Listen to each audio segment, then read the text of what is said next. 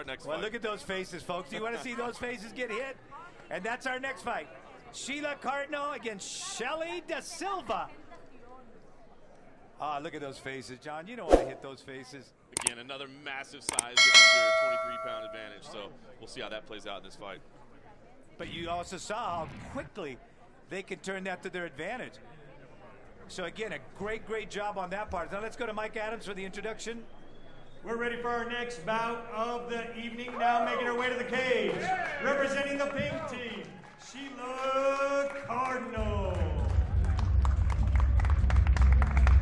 Sheila Cardinal.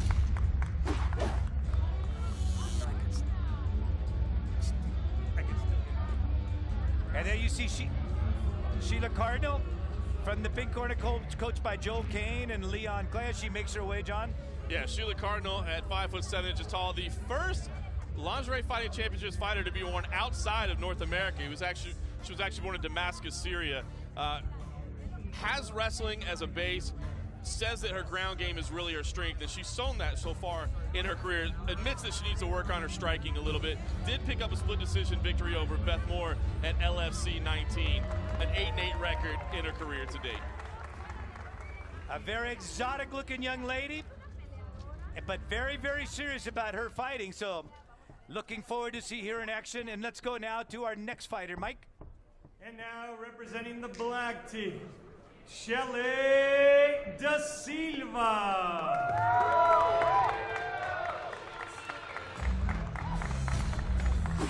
And now Shelly Da Silva from Los Angeles, California, making her way in. Seven wins, four losses in her career to date. Comes in at 118 pounds, so she, again, she's going to be facing a size difference.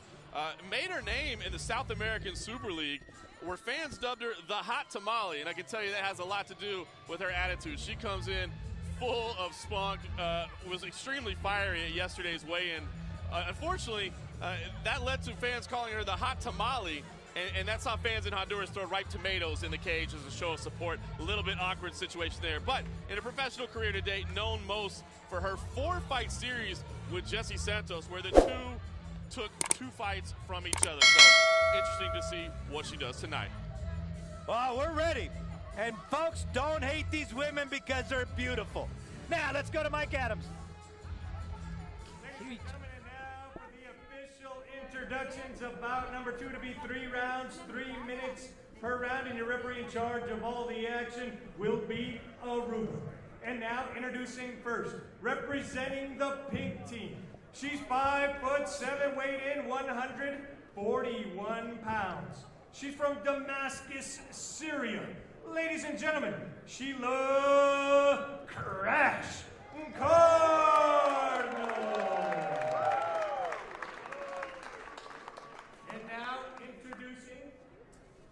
Representing the black team.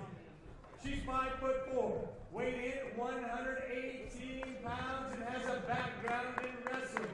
She calls Los Angeles, California, her home. Ladies and gentlemen, Shelley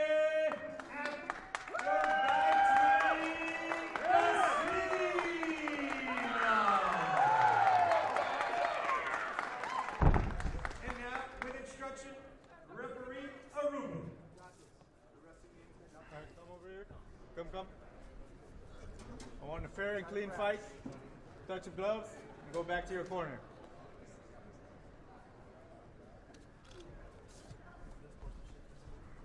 Referee Aaron Aruba giving the final instructions. And again, our three judges, Mike Kahn, Phil Ledecker, and Mike Martin, will be scoring this fight. Are you ready? You can see you Shelly ready? Da Silva scaling the cage during the introductions. I was impressed with that at everybody. vertical. Great vertical. So we're ready for these Yeah, two ladies again. The very first foreign-born fighter in LFC history, and that's And you can see right away going to her wrestling technique, but Shelly Da Silva does a fantastic job of trying to grab that guillotine choke as she falls her back. She is in full guard there. trying to get hopefully to about a 70-degree angle, trying to move herself around there. She's got a good grip around the neck right now. Sheila Cardinal certainly no stranger to being on the ground, but this is. Cardinal was able to pull her head free. That was a good submission attempt there from the back. Now De Silva on bottom, doesn't have the neck anymore. Tries to get a sweep to the top. And she's got she's got good leverage with that leg you can see- that she's got around her. But now she's going to get slammed. She's going to get slammed. look again. Oh my goodness! I felt that here. Yeah, and that really forced her to let go of that choke. A lot of credit to De Silva, much smaller fighter, but she's going immediately to that guillotine choke every time. And the hair now starting to get in the way. Yeah, I think getting a little warning there, but And the referee, Aaron Aruba, breaking him up and Call- getting him back up. Is she all right? yeah, calling for a stand up there. It might have been a warning for grabbing the hair. Might be why we're restarting here. Again, sometimes whatever it takes. If that's what it takes to get you out of there, let's get out of there. These two ladies, very adept. Both of them are wrestlers, so they're going to be on the ground. Yeah, Sheila Cardinal again driving inside, getting the takedown, but falling immediately. I think she's comfortable there, John. Oh, pressing it up against the fence. And falls Wow. on her knee, too. Big shots inside. And again, these fighters have had to alter the angle of those shots. They cannot hit the face of a woman wearing lingerie. Sheila De Silva tried to get to the back. Driving in for the takedown. Doing a good job, almost a flop technique in the part of De Silva to go ahead and fend off Well, the it really takedown. is. She's at such a size disadvantage, but trying to use technique to stay in this fight. And check out the flexion in those leg muscles. You see the quad, you see those flex there, and you see the Oh, calf. Now, good elbow. elbow. Oh, brutal elbows. I think that hurt Cardinal there momentarily. Going again to the guillotine choke. Shelly Cardinal in a lot of trouble here. She's using her power to try to slam out of these holds, and she does get free. Final seconds of the first round. Both trying to find a way to go ahead, get, find a place to land, and that's it. Round number one is over, and they're still fighting. Oh my goodness! Referee Aaron Aruba's got his hands full here. They didn't want to stop. Shelly Silva, you can see why they called her the hot tamale down in South America. A lot of temper there. Go to your corner, go to your corner. Well, interesting first round. You know, the difference in size, I would think that would be the other way around. Instead of one being on the bottom, the other would be on top. But uh, apparently, that's where she preferred to go. So they, let's take a look at the highlights in round number one. Yeah, well, I'm going to be interested to see how the judges have this scored because, generally speaking, top position is considered the dominant place to be. And as you can see from the replay, when you're landing those punches, that's exactly why. But Shelly De Silva was going for that guillotine choke so often that Sheila Cardinal was, was defending quite a bit, even though she was in top position. She did have those big slams as well, though, so a lot of back and forth action that I really think you could score either way. I'm going to be interested to see how the judges have this. Well, the interesting part was even though she was on her back, she was bringing the fight. She was the one that was dictating the pace. She was the one that, you know, the, the generalship in a fighting scenario was the one that De Silva was pushing. Yeah, you can see Shelly De Silva really has the speed advantage, and that's what she was trying to use to to uh, to gain points essentially. Meanwhile, Sheila Cardinal, the power advantage, no doubt about it. Oh, and the hose now has got a run in it. Well, three or four runs in him. So you got to be observant. Most of these girls, again, keep themselves in phenomenal physical shape, and most of it starts out by taking some kind of a physical class there to maintain, maintain themselves, and before you know it, they want to fight. And they want to take somebody on, and here they are. Leg kick straight in. And trying to kick that soft part of the area around that quad area where they become susceptible. Cardinal inside again. You can imagine she's going to be looking for a big slam to the floor. Trying to get good leverage right there, using her legs, wrapping them around. Beautiful toss. Doesn't follow up, but those hurt. Gonna tuck in some of the costume back in. And you gotta love these outfits, folks. And that's what Oh, lingerie fighting championship is all about. Sheila Cardinal ducked into a kick there. Looks like she's okay. Was looking for the takedown, but walked right into a kick. And you see right away, Shelly De Silva looking for that guillotine choke. Hasn't been able to finish it yet, but keeps going back to it. You can see the, the grimace on her face there. She's trying to squeeze. But Cardinal, you think right now would pounce, you know, use that weight. Now the legs up high. Look at the left leg high on the shoulder, potentially going to set up a triangle choke, maybe an arm bar there. A couple different options with the left leg high on the shoulder like that. She's got to get out of there. Yes. Cardinal, she can pick her up and try to slam her down. Cardinal has to be careful not to leave her arm behind. You can see as she's posturing. Now slam her down. That's what she's going to try to do. Shelly Silva trying to set that guillotine. It just throws her off. Her neck hit the wire. Referee Ron Aruba's right on top of it. Now she comes down, striking straight down. Shelly to- Silva showing her toughness there, just climbing to her feet and crawling. and down to the ground she goes again. Crash Cardinal just so strong. Oh, this is not a good position. Standing rear naked choke here. She could finish the fight. Oh, Oh, a elbow. nice elbow to get out. Oh, into the head as well. Beautiful transition to the knee bar. I think she's got a good hold on this knee bar. She's got to torque and get the angle. You can see Shelly De Silva has the, just can't quite get the angle on the knee. And she looks like she's in bad shape right there. She is not able to go ahead and free that left leg. Yeah, Shelly Cardinal's still in trouble there. You can see the left knee. Oh, you can tell the pain that's there. That left leg is still in trouble. And she's got to pull that. She's trying to pull that even more. Cardinal trying to go ahead and hit that soft part of the thigh of the Silva. Silva just relentless on that leg right there, John. Yeah, right now not getting any pressure on it. Still in trouble though. Oh, beautiful spin. But she hasn't been able. To. Now she's going to try to work the leg. Yep. She's stacking up on that left leg. She's got her knee past the legs. Now it's going to be very difficult for De Silva to get any pressure on it. This is an amazing demonstration of flexibility. Look at this. To heck with the submission, just pounding away from the top. Another fantastic round. Oh, it's still cranking on the leg. Won't let go of it. Two rounds are in the books. Wow. De Silva kicks off as she gets up. She is refusing to quit. The bell really means absolutely nothing to Shelly De Silva. And look, she's going to go. Oh, no, wait, wait, wait, wait. Oh, my goodness. She was going to go take the bench and go over there. Boy, there's some bad blood here. Fighters not taking advantage of their 60 second rest period here. They want to keep going. Michael, oh, oh my goodness. Spin Now on coming back. Whoa! Ref- Aruba trying to get Wow. in between them. Again, Michael Modest, the coach right there for Shelly De Silva, trying to keep her fighter down. But it's obviously that Sheila Cardinal has just lost it. She Yeah. has lost it. Well, you know, mixed martial arts is often a fantastic display of sportsmanship. That's not what we're seeing here. There's Oh, obviously some goodness. bad blood between these two ladies, really paying no attention to the bell, fighting as long as they like, and then uh, nearly bringing a stool involved. Well, they're trying to calm her down. Here's some of the action right there in round number two. Here's that beautiful suplex. Those hurt. And again, you can see De Silva always going to that guillotine choke. It's always in her back pocket. Though at some point she may have to let go. Yeah, Don't, don't, don't, leave that stool No, in I was thinking the same thing. Oh my God, that's a weapon. And you know what?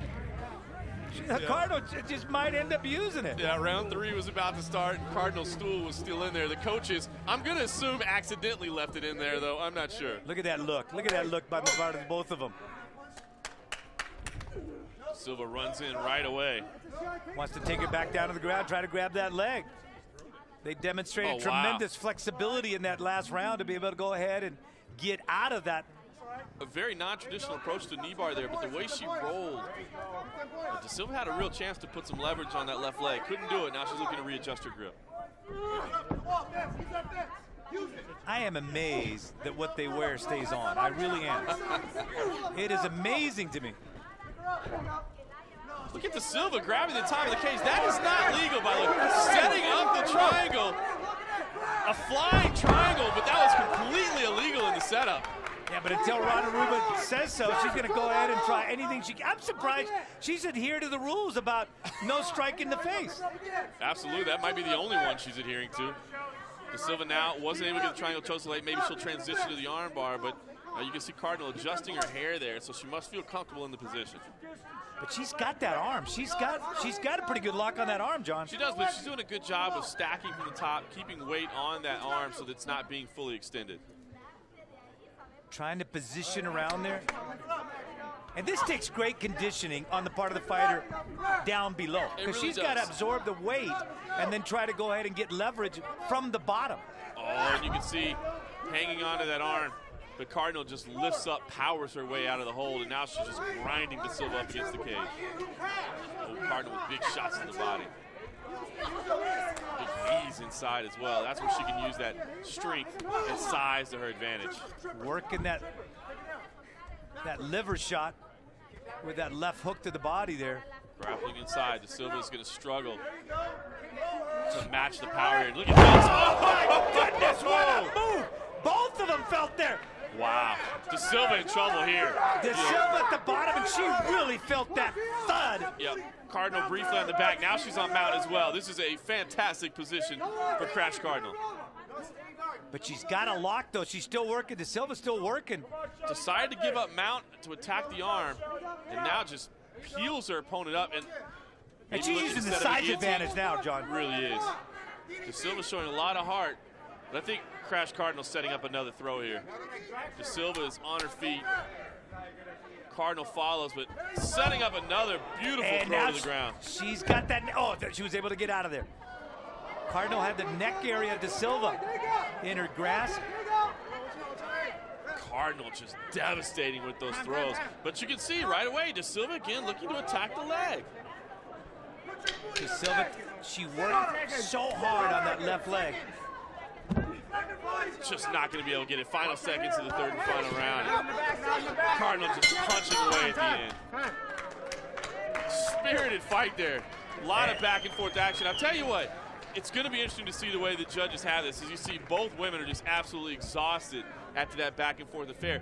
Really interesting to see how you want to look at it because Crash Cardinal was the one with all the throws, with all the power techniques. She was the one that was really controlling the positioning. However, uh, Shelly De Silva from her back was going for submission attempt after submission attempt after submission attempt. So a lot of offense from her back. Unfortunately, none of them seemed to really threaten.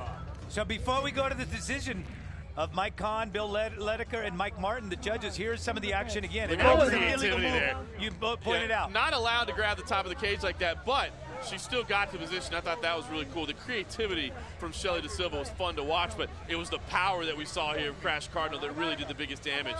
Look at these beautiful throws. The wrestling there from the Syrian really on full display. So, listen, Vinny, I, I, this could go either way. A lot of back and forth action, but I, I, I- would like to say I, I think Crash Cardinal did enough with those big power Okay, throws. you, you scored it. You scored it for Cardinal. I, I did. Okay. I did. But again, Shelly De Silva from her back, you know, was she able to to sway the judges with the multiple submission attempts because Cardinal was on defense a lot from her back. It was a bit perplexing for her to choose that particular way of fighting, but that's what she felt comfortable doing. So Still a lot of tension between the two. I'll tell you what, a lot of times after a mixed martial arts fight, you'll see the competitors get up, shake hands, and say, hey, we went through a war together, I'm okay. That's not the case here. I, I think they're going to have to stand in between them when they read the judges' results, to be honest with you. that's right. there's nothing worse than a scorned woman. That's what they never forget. They never forget, and apparently, even in fighting, they do not forget. So we are anxious now await the official decision of Mike Kahn, Bill Ledecker, and Mike Martin, our judges. Let's go to Mike Adams for the decision. Ladies and gentlemen, we go to the judges' scorecards. All three judges scored this bout 30 27. Your winner by unanimous decision from Damascus, Syria, Sheila Crash Cardinal. Well, let that be a lesson to De Silva. You gotta be on top. You can't be at the bottom and expect to go ahead and win a fight. She appeared to be comfortable fighting from that spot, John, but that is not something. And they're still going at it. They're still going at it. De Silva's still not convinced, and she wants some more.